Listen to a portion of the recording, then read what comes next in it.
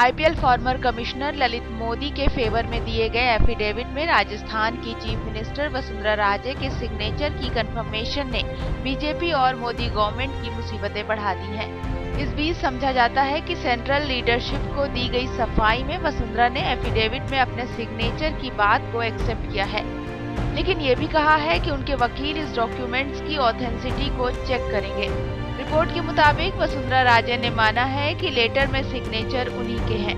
इस बीच ललित मोदी को मदद पहुँचाने के इशू को लेकर बीजेपी के खिलाफ अपने हमले को तेज करते हुए कांग्रेस ने कहा है कि पार्टी को राजस्थान के सीएम वसुंधरा राजे से रेजिग्नेशन देने को कहना चाहिए। बता दें कि ललित मोदी के लिए विटनेस बनने पर वसुंधरा ने सहमति जताई थी। इस बीच वसुंधरा के रेजिग्नेशन को लेकर बीजेपी में डिफ्रेंशिएट बढ़ गए हैं। बीजेपी का एक गुट रेजिग्नेशन के फेवर में है, लेकिन दूसरा गुट नहीं चाहता कि वसुंधरा इस मुद्दे पर रिजाइन दे। News point bureau.